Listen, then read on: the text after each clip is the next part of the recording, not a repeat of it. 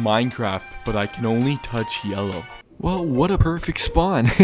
oh, is that a village over there? Awesome. Wait, what? There's another village there. Let's go. Time to stock up on that delicious sand. Oh, I almost went in the water. I was, that was stupid. Boing. Okay, that could have been bad. Oh, first ever MLG sand placing? Yeah, except there's uh, one problem. Uh, we're running out of blocks. That's a chest. Let's go, baby. But the goal for this video is to find a gold bar. Oh, yes, and I know I've been bugging you guys every single video, but we're close to 200,000 subscribers. Please subscribe just once. You know, you only have to do it once. Stare at me with her smug big noses and stuff. Go to your rooms. That felt great. Oh my lord, I just had the greatest idea of all time. Is there any way we can dismantle this? Gotta watch the head, make sure the hair don't touch the orange. so I was thinking that this would be a perfect time to go in the cave and pray we can find a chest, but uh, I don't think that's possible with these guys.